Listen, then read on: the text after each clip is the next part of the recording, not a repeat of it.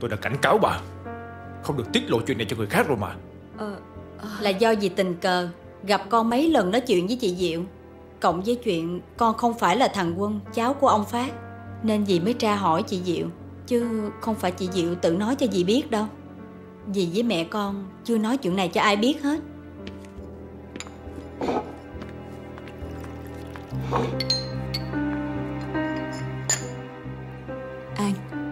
Con có làm gì con Phương không? Tôi và cổ lâu nay không có liên lạc gì hết. Bà hỏi vậy là ý gì? Tối hôm qua con Phương nó bị mất tích. Trước đó nó có điện cho bà Tuyết. Nó nói là Nó phát hiện thằng Quân thật đã chết. Còn chỉ là giả mạo. Có phải là con biết chuyện Nên con làm hại nó đúng không?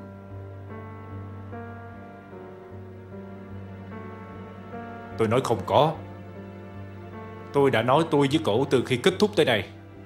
Chưa từng liên lạc với nhau. Con nói thật không? Mẹ không muốn con vì tham vọng Mà làm những chuyện tán tận lương tâm như vậy? Bà không tin thì thôi. Tôi không muốn dính dáng tới tất cả mấy người. Đừng có việc gì cũng đổ lên đầu của tôi hết. Nhất là bà. Đừng bao giờ xuất hiện trước mặt tôi nữa. Nếu không đừng có trách tôi. An vậy với mẹ con đó hả? Bà không phải là mẹ của tôi. Dì biết là con hận mẹ con. Nhưng mà bây giờ con đã lớn rồi mà An. Con giỏi giang thành đạt. Sao con vẫn còn giữ Cái suy nghĩ ấu trĩ như hồi nhỏ vậy hả An? Đúng là bây giờ tôi đã lớn và biết suy nghĩ. Nhưng những chuyện ngày xưa Bà thiên chỉ đám con ghẻ Không cứu tôi là sự thật Chuyện ngày xưa. Dì là người biết rõ nhất nè, Không phải mẹ con thiên dị Tụi anh em thằng Kiệt đâu.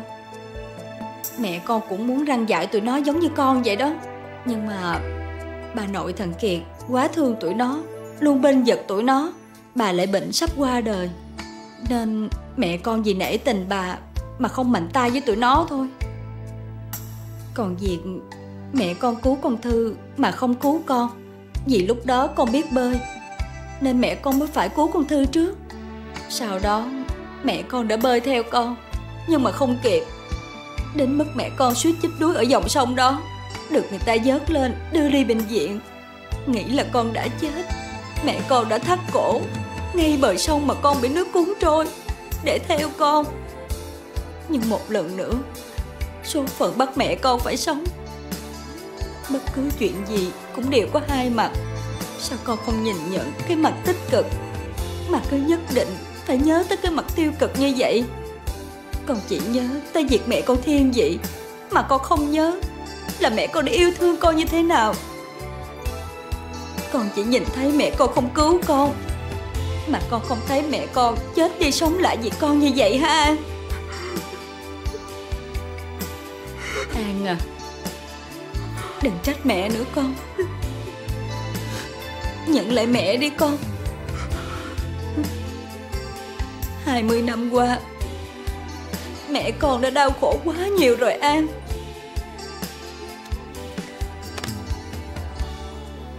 Người chịu thiệt thòi nhất trong 20 năm qua Là tôi, Chứ không phải là bà. Và càng không phải là đám con ghẻ của bà. 20 năm qua, Bà và đám con ghẻ của bà sống rất vui vẻ và hạnh phúc. Còn tôi thì sao? Tôi sống trong sự cô độc, Hà khắc áp lực của ông ngoại. Tôi đã phải cố gắng nỗ lực rất nhiều mới có được ngày hôm nay. Tôi không thể mất tất cả được. Và không thể vì một người không xứng đáng giống như bà ta.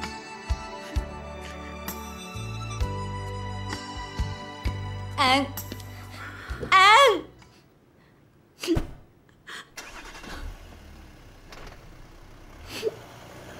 Thôi, Để nó đi đi em.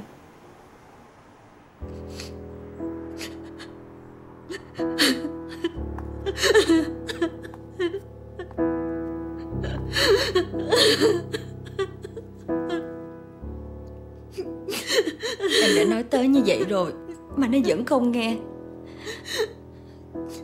Không ngờ Nó vẫn cố chấp như hồi nó còn nhỏ.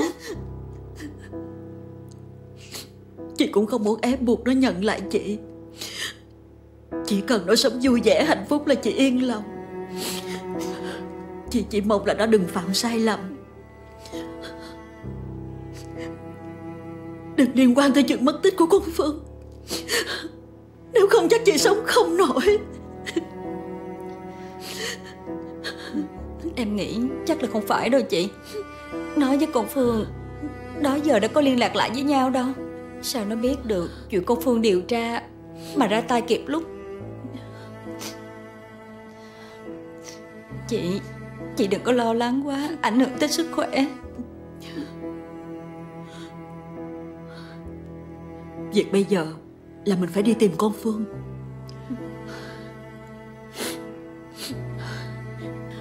Em chở chị về nhà lấy xe. Để chị chạy đi kiếm phụ mọi người, Càng nhiều người kiếm, Thì sẽ càng hiệu quả hơn. Đi em. Dạ chị.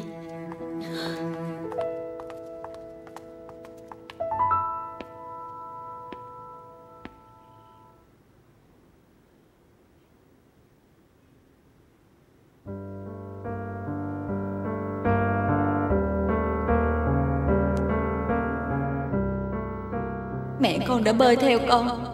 Nhưng mà không kịp. Đến mức mẹ con suýt chết đuối ở dòng sông đó, Được người ta vớt lên, Đưa đi bệnh viện. Nghĩ là con đã chết. Mẹ con đã thắt cổ.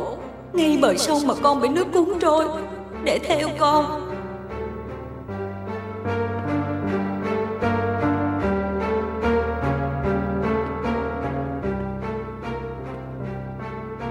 Bất cứ chuyện gì cũng đều có hai mặt.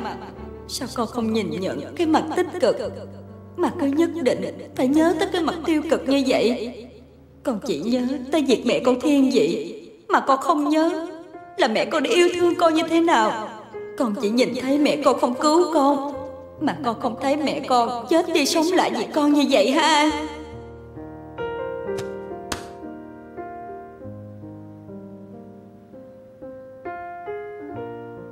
Mày sao vậy Quân? Dù có thật như là bà Thu nói, Thì mày cũng không thể nào dừng lại. Mày không là cháu ngoại của ông Phát, Thì mày chẳng còn cái gì hết. Mày quên 20 năm qua, Mày đã cố gắng như thế nào sao? Tao biết chứ. Nhưng tao cũng cần có thời gian để thu xếp. Đây là một sự chuẩn bị cho cả tương lai về sau. Có phải là món đồ trong túi đâu, Mà muốn lấy là lúc nào cũng được. Mày phải thu xếp ổn thỏa. Trước khi ông ngoại làm di chúc thừa kế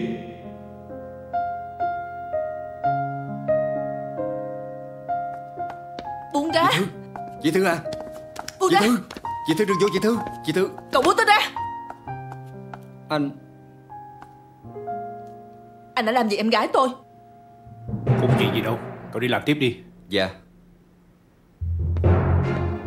Bà Thư Dù mình là người một nhà Nhưng đây là công ty Muốn gặp phải hẹn trước chứ.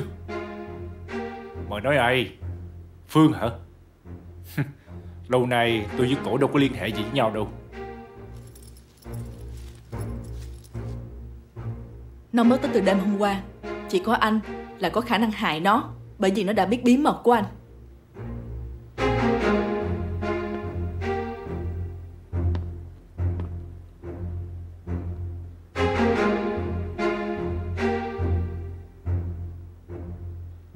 Mà nói bí mật gì?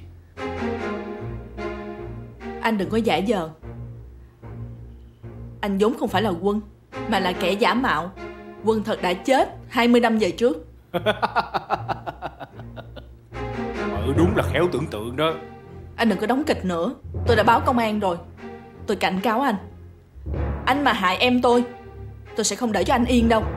Tôi đã nói với mợ Là tôi không có liên quan gì với Phương từ lâu. Mợ vẫn chưa rút kinh nghiệm đợt vừa rồi sao? Muốn làm cho ông ngoại tôi tức giận lên hả? Anh cứ chờ mà coi.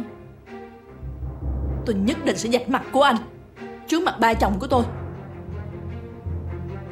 Hãy chờ đó. Chờ đó.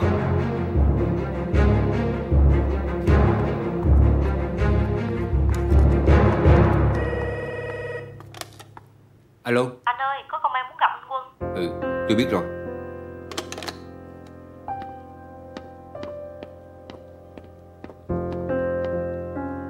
Anh Quân Có công an họ tới để tìm anh Thì ra là năm xưa thằng Minh nó đã gạt ba. Thằng Quân đang ở với ba là giả thôi. Còn thằng Quân con ruột của chị hai đã chết từ lâu rồi. Ai lại đi phao những tin đồn thất thiệt như vậy? Dạ là em gái của con. Nó về An Giang Nó tìm hiểu nên biết được tin này. Nó định tới gặp ba để nói rõ. Nhưng lại bị mất tích từ tối qua tới giờ. Con nghi ngờ Quân đã ra tay với nó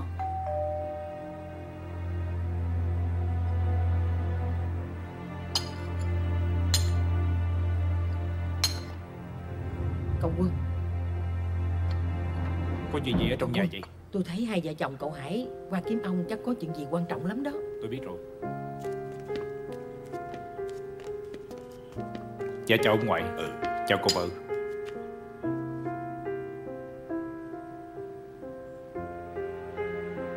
Tôi đã nói Tôi không liên lạc với Phương từ lâu lắm rồi. Mợ đừng có vu khống tôi nữa. Mợ báo công an để họ tới công ty tìm tôi. Chuyện lần trước bộ chưa đủ phiền phức sao mợ Không phải mày thì là ai? Tự nhiên tại sao con Phương đã mất tích Mày không phải là con cháu nhà này. Mày là ai? Mày nói đi. Cậu Con đã nói chuyện quá khứ con không còn nhớ gì hết. Nhưng cậu mợ cũng đừng dựa vào đó mà đặt điều cho con chứ. Có chứng cứ thì cứ đưa ra. Công an họ không tin những lời vô căn cứ của mợ đâu. Bởi vậy Con mới còn ngồi đây nói chuyện với cậu mợ đây. Mày đừng có mạnh miệng nghe Ba Hay là ba với nó đi làm xét nghiệm đi ba. Mình sẽ biết được Nó có phải là cháu ruột của ba hay không. Không có xét nghiệm gì hết. Nó là cháu của tao hay không Không lẽ tao không biết? Vợ chồng hai đứa bay. Đừng có gây thêm rắc rối nữa. Nhất là con. Đừng có phỏng đoán vô căn cứ. Rồi chuyện nào cũng đi báo công an. Ảnh hưởng đến công ty. Dạ Con xin lỗi ba. Con hứa sẽ không tái phạm nữa. Ba Ba đi xét nghiệm thôi chứ có sao đâu. Nếu như nó là giả Ba để lại tài sản cho nó. Chẳng phải là ba mất hết hay sao chứ? Bà đã nói là không nói tới chuyện này nữa. Nè, Hai vợ chồng con, Nếu không còn chuyện gì để nói, Thì về đi. Lo mà tập trung cho công việc. Bà Về đi. Bà à Bà Thôi anh, Mình về đi.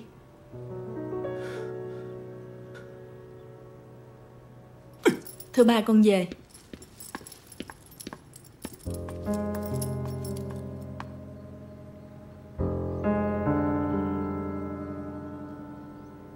Con thật sai lầm. Khi để chuyện tình cảm gây hậu quả nghiêm trọng như vậy Con còn biết chị em ở thư Còn gây khó dễ cho con tới bao giờ nữa.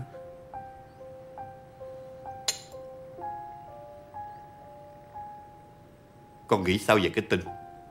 Con không phải là cháu ruột của ngoại. Tuy thực sự con không nhớ gì về quá khứ Nhưng con tin Đó chỉ là chuyện bịa đặt của chị em ở thư để hại con thôi. Ngoại cũng nghĩ vậy Nhưng đôi khi Có những chuyện tình cảm đối với nhau Đó mới là quan trọng nhất. Dạ. Thôi Ngoại lên phòng đây.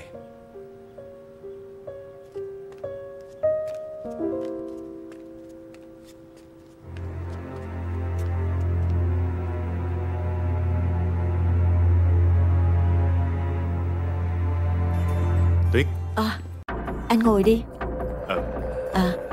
đây là chú Vũ mà mẹ nói với con đó. Dạ. Còn đây là Thư, con gái thứ hai của em. Dạ con chào chú. Con nghe mẹ nói chú có nhiều mối quen biết Cho nên mẹ với con định nhờ chú tìm giúp con Phương. Chú cũng nghe mẹ con nói rồi. Chú sẽ nhờ người để tìm kiếm. Chú hẹn mẹ con với con ra đây Để hỏi thêm thông tin Cho dễ việc tìm kiếm. Dạ. Bình thường Con Phương nó có xích mích hay là mâu thuẫn với ai không con? Dạ không chú Nhưng chỉ có tên Quân là có khả năng. Tuy hồi chiều công an có tìm hắn để hỏi chuyện Nhưng mà không thu thập được gì hết. Ba chồng con cũng không tin là hắn giả mạo. Nhưng con nghĩ nhất định là hắn có liên quan tới việc mất tích của con Phương. Chứ con thì không nghĩ ra Không ai có thể hại nó ngoài hắn. Nhưng mà đó giờ Nó với con Phương có liên lạc với nhau không? Dạ không. Vậy Vậy có khi nào Không phải là thằng đó? Con nghĩ đi Vì sao nó biết Mà nó hại con Phương đúng lúc như vậy. Anh, nhưng ngoài đó ra Em cũng không biết ai hại con Phương nữa. Em à Bây giờ cướp của giết người đủ thứ hết. Không loại trừ khả năng đó đâu em. Ôi trời ơi. Mẹ Mẹ yên tâm đi Con Phương nó sẽ không sao đâu. Con sẽ cho người về An Giang. Chỗ con Phương từng dò hỏi. Biết đâu sẽ tìm được thông tin mà con Phương đã tìm. Như vậy thì ba chồng con nhất định sẽ tin. À, Con Hay là để chú giúp con chuyện này. Chú có nhiều người quen ở An Giang lắm Sẽ dễ tìm hiểu hơn. Dạ vậy thì tốt quá. Vậy chú tìm giùm con nha chú. Chú sẽ cho người tìm tìm Ờ quên nữa. Con cho chú số điện thoại của con đi. Có gì dễ liên lạc với con hơn. Dạ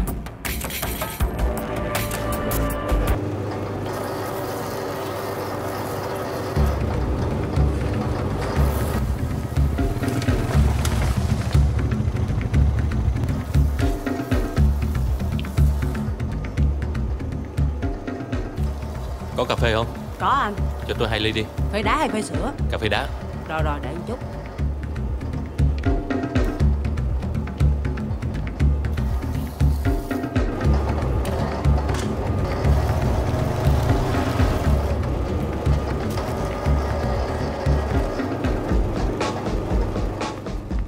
Em ơi Em có thấy cô gái trong hình này đi ngang qua đây không? Đi quanh vòng vòng đây nè. Không có thấy. Chị tìm chỗ khác đi. Cảm ơn em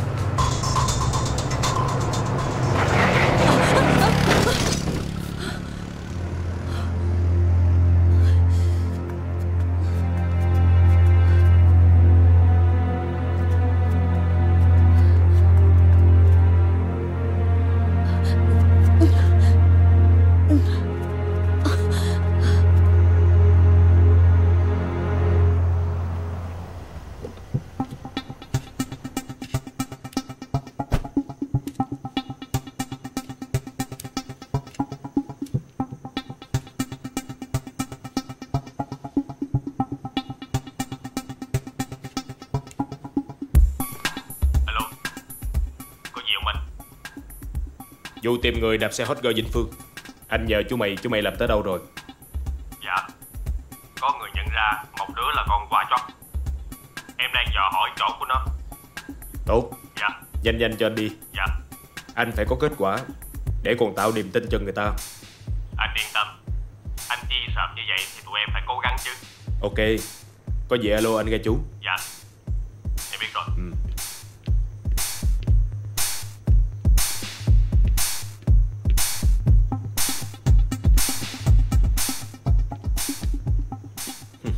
Tới thăm ba hả con trai? Tôi tới con cổ sao rồi. Con sợ ba giết chết nó hay sao? Mà phải đích thân con tới vậy. Con đã kêu ba giam nó Thì làm sao ba dám làm gì nó chứ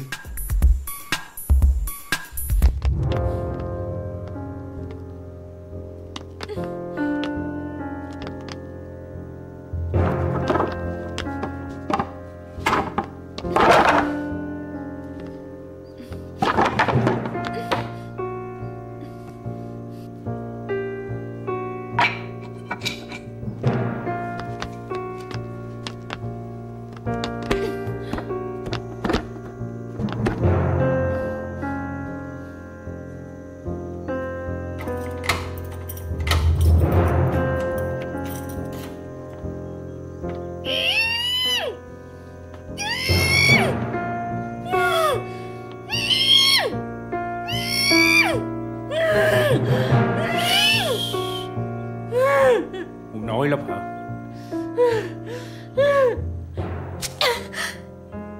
Thả tôi ra! Đồ khốn nạn hãy thả tôi ra! Thả tôi ra mau lên! Cô nghi thơ quá. Cô nghĩ Ở đây cô la là sẽ có người nghe hả? La đi La cho tôi nghe coi. Là do cô tự chuốc lấy Tôi không giết cô đã là quá tốt đối với cô rồi. Anh chưa giết tôi. Chẳng qua là vì có lý do gì đó chứ gì.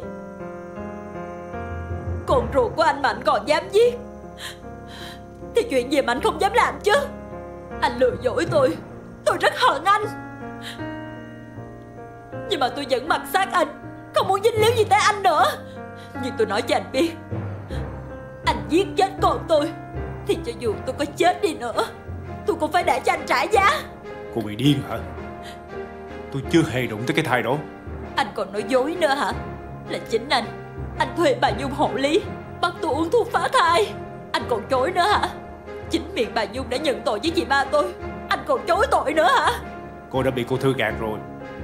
Tôi không hề biết bà Nhung nào hết. Anh nghĩ đi.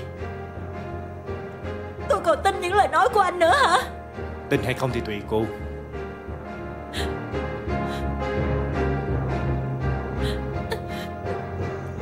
Tốt nhất, Ngoan ngoãn ở yên đây. Nếu mà còn gây rối nữa, Đừng có trách tôi.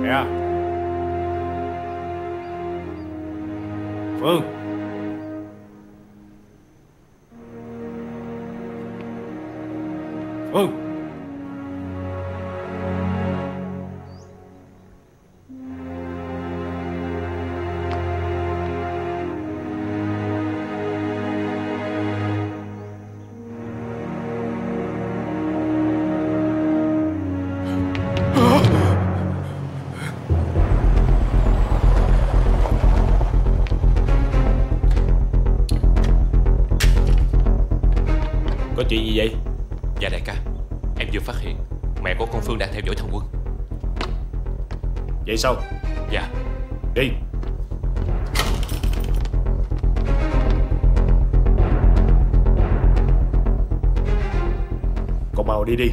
Mẹ đã theo dõi con. Sắp tới đây rồi. Đi đi đi. Bà sẽ giải quyết xác của nó. Đi mau đi.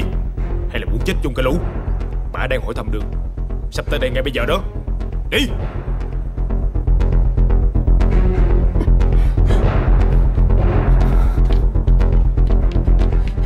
Đại ca. Cái gì? Bây giờ mình tính sao?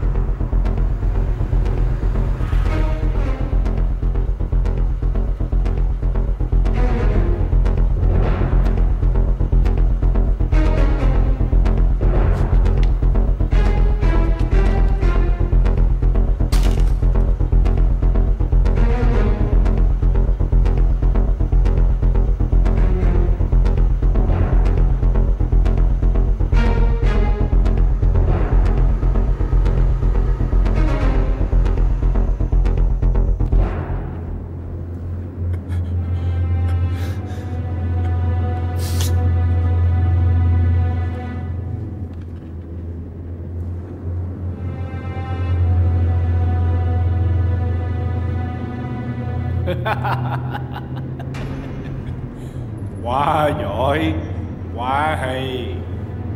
Chỉ cần một cái đẩy nhẹ nhàng Mà mày đã giải quyết tất cả một phần thua hận trong lòng của mày. Mày đang nghĩ gì vậy? Có phải là mày đang cảm nhận tình yêu đến muộn không?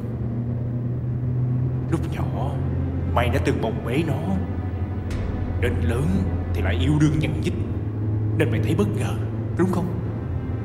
Tao còn giết cô ấy. Nói đúng hơn Là tao không cho phép mình giết người. Tao chỉ muốn họ bị đau khổ. Như tao đã từng đau khổ. Họ phải trả giá cho những gì họ đã gây ra cho tao, Cho gia đình của tao. Tao thấy rồi. Giết người phải đền mạng. Mạng của tao đang có giá lắm. Tao còn muốn chết từ lúc này. Bây giờ mày nghĩ gì cũng đã quá muộn rồi. Chỉ còn một con đường mà thôi. Đường gì?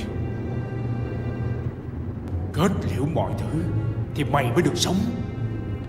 Hoặc, Nếu chết Thì mày cũng đã thực hiện được mọi mong đợi. Tao nói có đúng không? Mày im đi Im đi Im đi Im đi!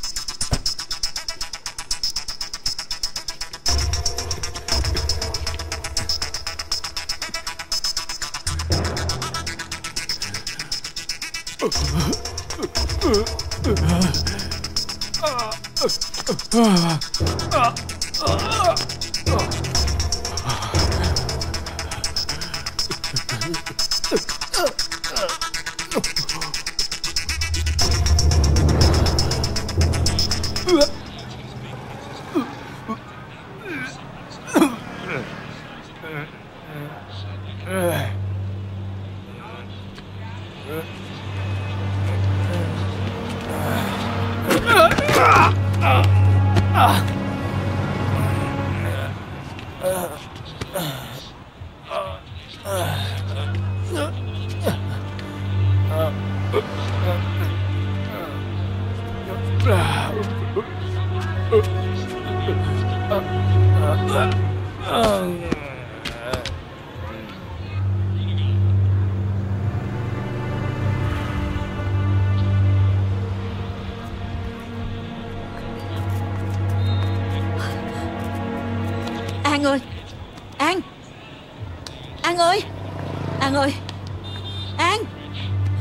Con sao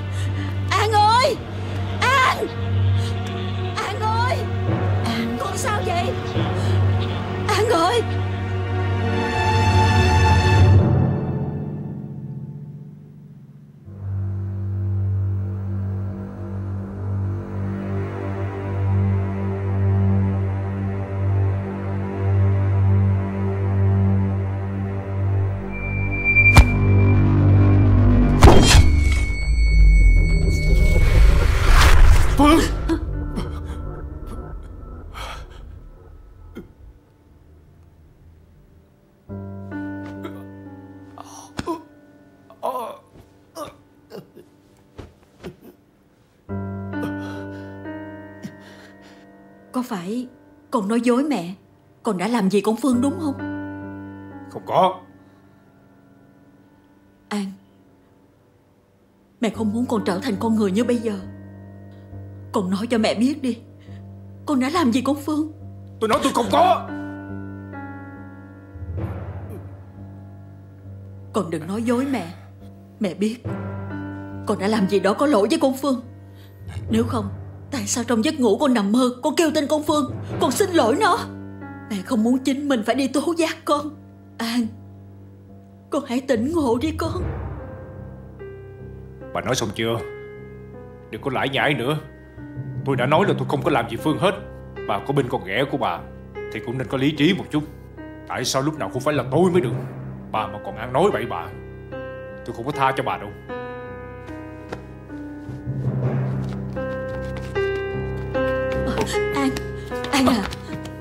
Nghe mẹ đi con.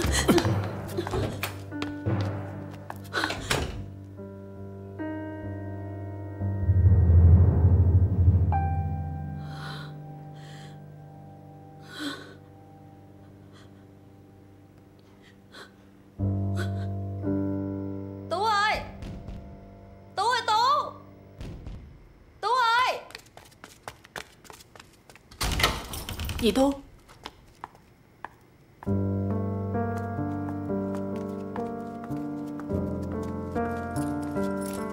Diệu về chưa con? Sao dì gọi cho dì Diệu mà không được? Dạ dì chưa về. Con cũng đợi từ nãy tới giờ. Con mới vừa gọi điện cũng không được nữa. Con tính đợi thêm chút nữa coi sao. Không biết có xảy ra chuyện gì với chị không nữa. Để dì điện lại coi sao.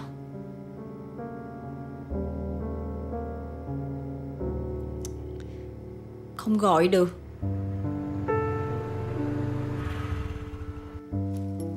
Gì gì Dì Diệu về kìa? Dì Diệu Chị.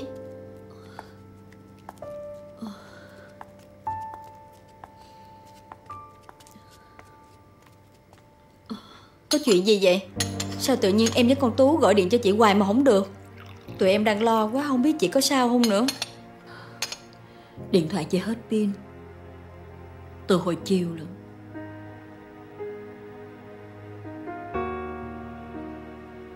Chị? Có chuyện gì hả chị? Không có gì hết. Tại chị mệt thôi. Vậy thôi. Ngày mai chị đừng có đi kiếm con Phương nữa. Cái lần của chị mà cái chị xe hoài như vậy, Thế nào cũng bị đau lại à. Để tụi em đi kiếm được rồi, nghe chị. Dạ đúng rồi đó gì Chị không sao hết. Chị phải đi kiếm nó. Chứ ở nhà chờ. Chị khó chịu lắm.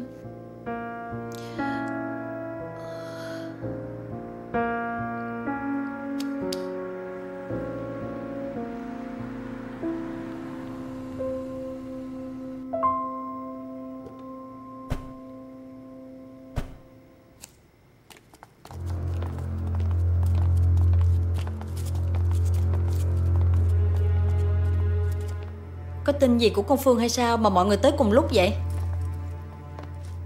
Không có. Tụi tôi mới tới bệnh viện. Nghe báo lại là Thằng Quân với chị Diệu mới từ đó về Nên mới qua đây. Tới bệnh viện? Ừ. Hồi nãy tôi đi kiếm con Phương Tình cờ Thấy thằng khốn nạn quân say xỉn té ngoài đường. Bà Diệu ra tay giúp đỡ nó. Không lẽ có vậy thôi Mà mọi người kéo qua đây trách chị Diệu hả? Nhưng mà tôi nghe rõ ràng Bà hô hoáng Bà gọi nó là An nữa đó. Và bà kêu người ta phụ cứu con của bà. Trùng hợp 20 năm Lúc An mất tích Cũng là lúc Quân được đem về cho ba chồng của con. Ngày xưa thằng An rất ghét tụi con. Bây giờ con mới nghĩ lại Những chuyện trước đây nó làm Là để phá con. Chỉ khi nó là thằng An nó mới làm như vậy thôi. Chứ với một người bình thường như thằng Quân Cũng không rảnh đến mức Phải làm nhiều chuyện như vậy. Tại sao dì không trả lời con Dì không nói gì. Chẳng lẽ đó là sự thật? Bây giờ dì phải đi gặp ba chồng của con. Xét nghiệm với quân để giặt mặt hắn. Dì không đi đâu. Tại sao dì? Đó thấy chưa? Tụi con sáng mắt ra chưa? Bà rốt cuộc á Cũng vì con bà thôi à. 20 năm qua Chẳng qua con bà mất tích Cho nên là bà mới tốt với tụi con như vậy đó Bà đừng có nói bậy nha. Chị Diệu thương tụi nhỏ Và thằng An như nhau thôi. Nó hại con Phương Nhưng mà bà vẫn bao che cho nó Không chịu tố cáo. Cô còn nói là không thiên vị à. Thương yêu như nhau như vậy đó. Nhưng vẫn chưa có bằng chứng gì chứng tỏ con Phương nó bị hại. Nếu bây giờ Thằng Quân nó giết con Phương Mà chị Diệu đi bao che cho nó Thì bà hãy nói. Cái gì? Mục đích của các người Muốn gì Diệu dạch mặt Quân. Để loại Quân thì đúng hơn đó Đúng là dù hắn không phải là người làm hại con Phương đi nữa Thì tôi vẫn muốn loại hắn. Hắn đáng phải mất tất cả. Vì những gì mà hắn đã gây ra cho chị em tôi. Dì Dì phải đi với con? Dì xin lỗi. Thấy chưa? Tụi con thấy chưa? Cuối cùng á bà cũng vì con bà thôi à Tại sao dì lại làm như vậy Cho dù tụi con không phải con của dì Nhưng mà hắn là người làm sai mà. Dì đâu thế nào mà thương con của dì Mà bảo che cho hắn? Con thì thất vọng về gì? Thư Thư. Bây giờ mọi người đều căng thẳng Nói tới nói lui á Cũng không kết quả gì hết. Dì Diệu à Dì suy nghĩ lại đi. Mẹ à Cậu Mình về đi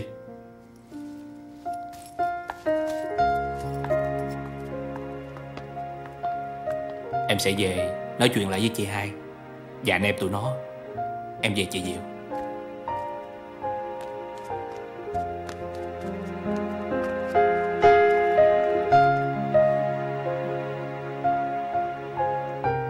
Chị.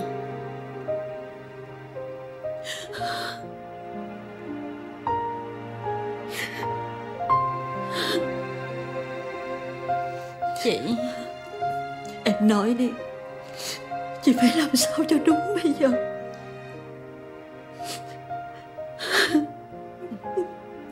Em hiểu nỗi khổ tâm của chị.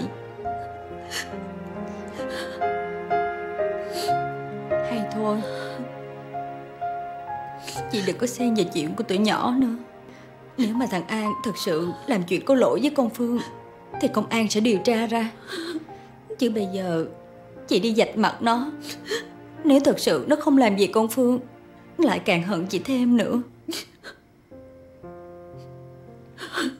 Dì Thu nói đúng đó gì Con thấy Nếu thực sự quân không làm hại Phương, Chuyện dạch mặt này Rõ ràng cũng chỉ có lợi cho Thư mà thôi.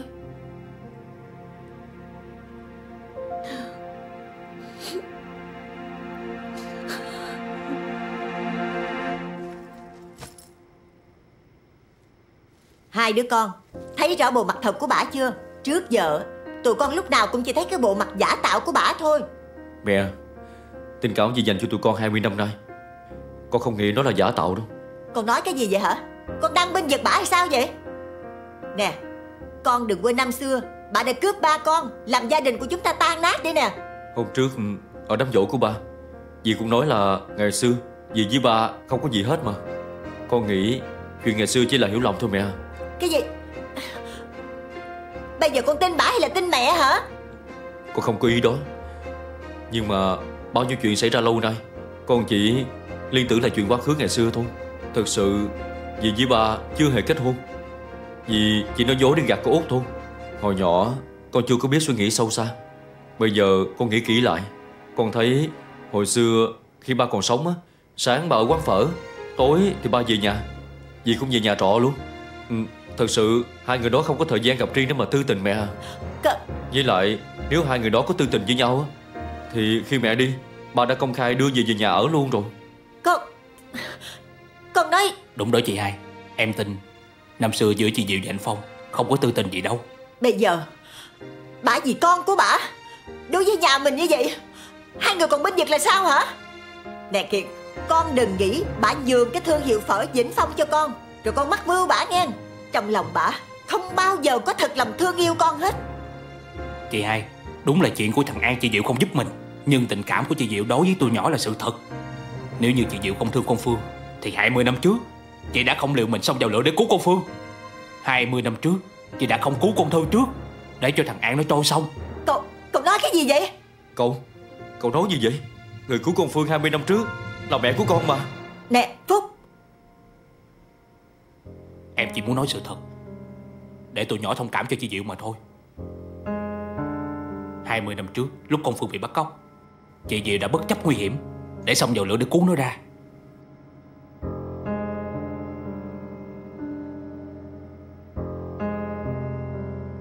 Dì Diệu muốn bà nội tha lỗi cho mẹ của tụi con Nên không nói ra sự thật. Có thiệt vậy không mẹ?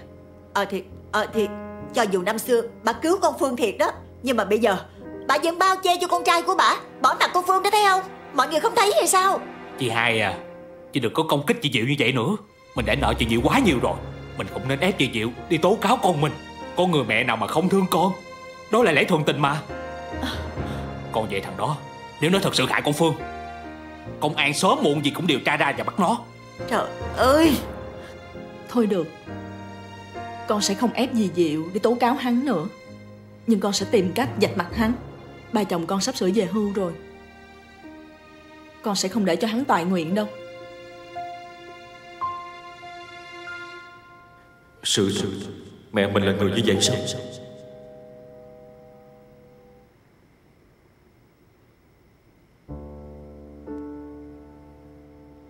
Không phải mẹ thiên vị.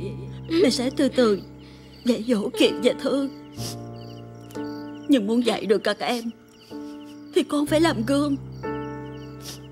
Con phải giúp mẹ. Chứ như hôm nay con sai, Là vì con đánh lộn, Làm cho mẹ khó xử.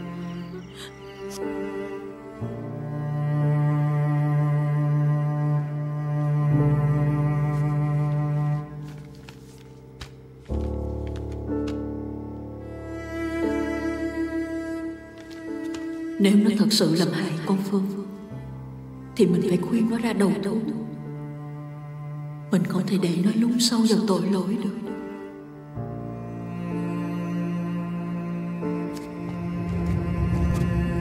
Chị Lai. Ủa? Chị Diệu Chị đi đâu mà về trễ quá vậy? Mấy lần á tôi thấy chị đi ngang Mà tôi ngại tôi không dám kêu. Dạ Nãy giờ tôi đứng đợi cậu quân ở đầu đường. Ừ, Mà sao không thấy cậu về đường này Thành ra tôi mới tới đây Mà mỗi khi cậu ngồi làm việc ở trên phòng Sao bữa nay tắt đèn tối thui à? Cậu Quân mấy bữa nay cậu bị bệnh Cho nên cậu xin nghỉ phép mấy ngày Không có làm việc. Cậu đang ngủ ở trên phòng đó. Cậu bệnh gì vậy? Có nặng lắm không? Cậu bị ờ, nóng sốt thôi. Bác sĩ có tới khám rồi. Nói cậu là cần nghỉ ngơi thôi chứ không có sao hết đó. Vậy thôi tôi về nghe chị. Dạ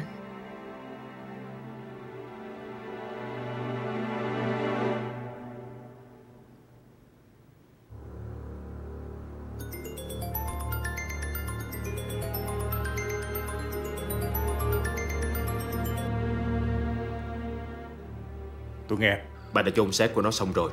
Đảm bảo không ai phát hiện ra. Như vậy sẽ tốt hơn. Nếu cái xác bị phát hiện Rồi điều tra đủ thứ hết. Bây giờ chuyện con cần làm. Là phải xác định được chắc chắn.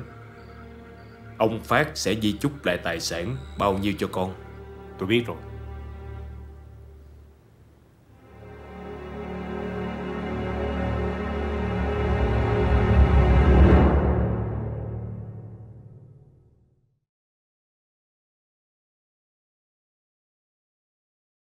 Alo, dì ơi. Dì Diệu bị tai nạn giao thông nghiêm trọng. Phải mổ cấp cứu ở trong bệnh viện. Dì Diệu thuộc nhóm máu cực hiếm ABRH trừ Nên bệnh viện không có. Dì có thuộc nhóm máu đó không dì? Không, dì, dì nhóm máu B mà. Vậy hả? Vậy dì biết ai có nhóm máu đó. Đến bệnh viện hạnh phúc để có dì Diệu liền được không? À, được rồi, để dì hỏi bạn bè của dì coi sao rồi dì báo cho. Dạ.